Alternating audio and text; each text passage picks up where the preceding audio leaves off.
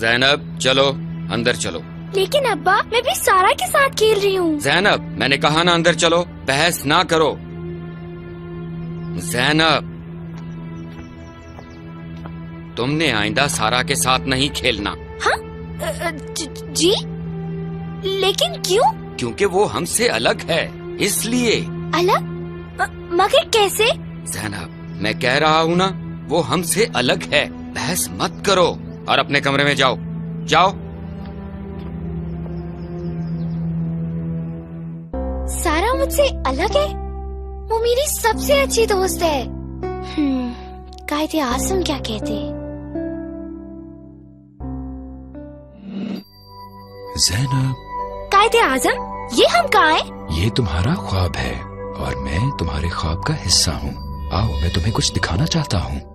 सारा ये इतनी उदास क्यों है? सोचो अगर लोग तुम्हें अलग कहने लगे तो तुम्हें कैसा लगेगा? नहीं। और अगर इसी तरह सब अलग होते रहे तो पाकिस्तान का क्या होगा? नहीं। जैनब मेरा इरादा पाकिस्तान के लिए ये था कि ये एक ऐसा मुल्क हो जहाँ सब बराबर शहरी हों जो एक मुअज्जज ज़िंदगी गुजार सकें। इसका कोई हल नहीं है। तुम इस नफरत के सिलसिले को खत्म कर सकती हो। जैनब तुम्हें खुद अपने मुल्क में इंसाफ और इंसानी बराबरी की हिफाजत करनी होगी। और अगर मज़बूत ईमान तंजीम और अकीदा हो तो सब कुछ मुमकिन है। मगर कैसे? पहला कदम उठाकर ये फैसला तुम्हें खुद करना होगा जैनब।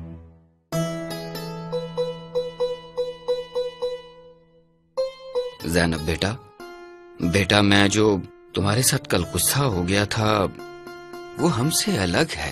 अब्बा वो हमारी तरह एक पाकिस्तानी है और उसने कुछ गलत नहीं किया। कायद ने कहा हम सब चाहे कोई भी रंग नस्ल या फिरके के हों सब एक मुल्क के शहरी हैं। हम सब के लिए बराबर हकूक सहूलतें और जिम्मेदारियाँ हैं। अगर हम एक दूसरे के साथ बिला वजह की दूरियाँ रखेंगे तो एक मुतहद पाकिस्तान कैसे बनाएँगे?